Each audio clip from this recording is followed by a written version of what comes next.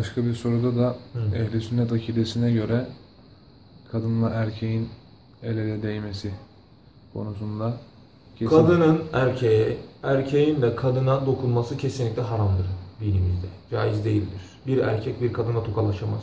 Bir kadın bir erkekle tokalaşamaz. Mahremi değilse. Amcasının oğlu da dahil buna. Dayısının oğlu da dahil. Amcasının kızı da dahil buna. Dayısının kızı da dahil. Burası böyle. Bu mutlak bir hükümdür. Kimse bunu değiştiremez. O hakkak. Şeyhimiz Hazretleri, Büyük Şeyhimiz Hazretleri kadınlara elini öptürüyor. Ne için?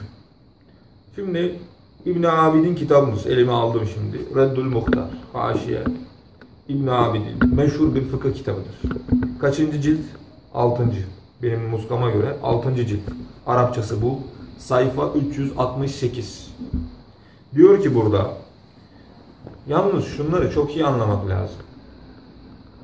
Kadın yaşlı bir kadınla ninemiz yani elini öpebilir miyiz? Ne diyor? Evet elini öpebiliriz. Neden?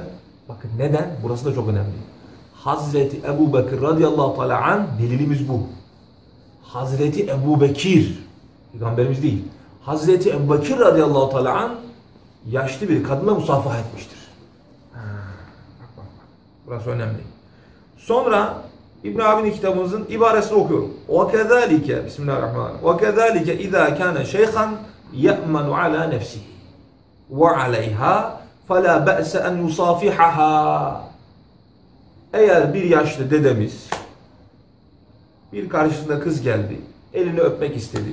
Kendinden eminse, ondan eminse o zaman فَلَا بَأْسَ elini öptürebilir. He. Burada, burada demek ki yaşlı dedelerimiz, ben Şeyhi Efendi Hazretlerine intisap ettiğim zaman Şeyhimiz Hazretleri 86 yaşındaydı. Bir faniydi yani. Burada daha ne kadar yaşlanacak yani. yaşlı dersek daha ne kadar yaşlanacak. Kendine emin, karşısındakine emin. Elini öptürebilir.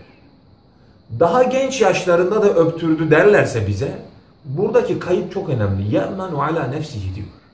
Kendi nefsinden eminse diye bir kayıt koyuyor. He, bizim evliyayı kiramımıza eğer evliya olarak onu inandıysak biz e, o adam nefsine hükmedemiyorsa bir şeyh nasıl başkasının nefsini terbiye etmesinde yardımcı olabilsin? Biz onun şeyh olduğuna hükmettik mi etmedik mi? Kalbimiz kani oldu mu olmadı mı? Oldu mu?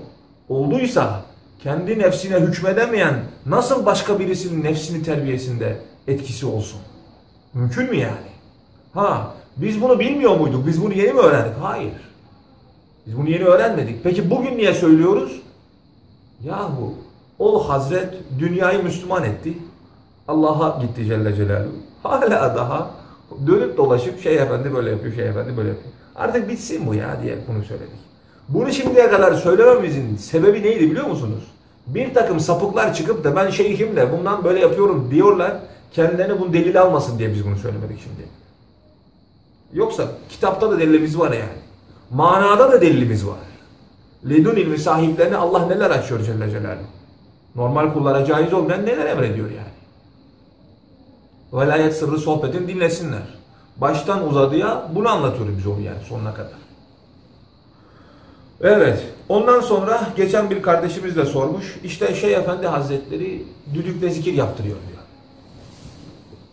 Ya kardeşim e, sen bir kameradan bir şey gördün değil mi? Hemen ona hükmetmemen lazım. Görmeyen bir tarafı da var. O düdükle zikretti dedin adam senin. Ahmet abimiz bizim. Çoban Ahmet abimiz. Şeyh Efendi ne dese Allah diyor zaten. Büyük Şeyh Efendi Hazretleri kim var burada derdi. Allah derdi. Devamlı Allah derdi zaten. Şeyh Efendi Hazretleri çok esprili bir insandır. Yanında hep düdük bulundururdu. İnsanlar gülmesini, kalplerini rahat ettirmesini isterdi. Büyük meşayih kiram işi budur zaten. Dünyanın yükü adamın üzerine çöker. Sen o kutlu evliyanın huzuruna gidersin, çıkarsın kuş gibi. Rahatlatır seni. Mübarekler. Bütün ağırlığı kendi üzerine çekerler. Allahu Teala o manevi kuvvetiyle onları kaldırıyorlar onlar. Şimdi Şeyh Efendi Hazretleri düdük öttürürdü, güldürürdü, insanları rahatlattırırdı yani. Mübarek. O düdüğü onun hep var zaten. Öttürüyor o Allah diyor. Yani o orada hazırlanmış, devamlı yapılan bir şey değil. Dedim ya, Şeyh Efendi'yi bir anda görse o Allah diyor zaten. Bizim Ahmet abimiz. Allah razı olsun. Çoban Ahmet abi. Onun yani düdükle bir mevzusu yok. Daha nice nice şeyler bunları sohbetlerimizde çok anlatıyoruz. İnşallah dinlesinler yani. Kadınla erkekleri bir tuttu diyorlar. Kadınları arkaya koydu şeyimiz sohbetinde, erkekler öne koydu. Bir de ayrıyetten şeyimiz Hazretleri Osmanlı edebiyle yetişmiş Türkiye'deki insanlara yapmıyor ki bu genel olarak. Gidip yurt dışındaki ka- kadın erkek tabii karışık gelecekler. Resul-i Ekrem sallallahu aleyhi ve sellem bizzat kadınlara sohbet etmiyor muydu geçen? Bukhari hadisinde okumadık mı? Bizzat kadınlara sohbet ediyordu Efendimiz ya. Onlara özel Kad- ayrı bir günde. Özel ayrı bir gün ayırıyordu onlara. Onlara sohbet için yani efendim. Bukhari'yi açıp okusunlar. İnanmıyorlarsa yani. Hatta ve hatta e, siz çok sadaka verin kadınlar. Ben e, cehennem ehlinin çoğu sizi gördüm. İşte siz muaşerette diyor eksik davranıyorsunuz deyince kadınların hepsi küpelerini bileziklerini attılar sadaka olarak. Kim topladı? Hazreti Bilal Bilal topladı radıyallahu teala. Aralarına girdi Hazreti Bilal topladı onları yani. Şimdi bugün bir kardeşlerimiz bu konuda çok dikkatli davranıyor. Allah onlardan razı olsun. Mümkün olduğu yerde tabii ki biz kadın erkeğin karışmasını kesinlikle razı değiliz.